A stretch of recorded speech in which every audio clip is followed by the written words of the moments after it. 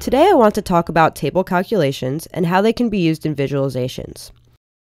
Just like regular dimensions and measures, table calculations are automatically displayed in visualizations, like the percent of previous week's sales that we have here in orange.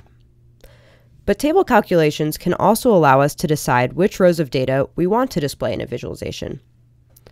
In this example, we're looking at weekly sales for an e-commerce store, and we've already created a calculation to show the percent of the previous week's sales. Now I only want to show the weeks that have outperformed the prior week. I'm going to click on the Calculations button to pop open the Table Calculations modal. Since I already have a calculation existing, I'll select to add a new table calculation, and I'll call this Exceeds Previous Week's Sales.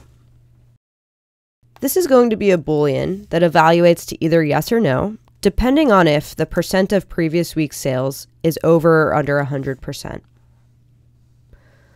I'll save that calculation, and now we can quickly see which weeks under or overperformed.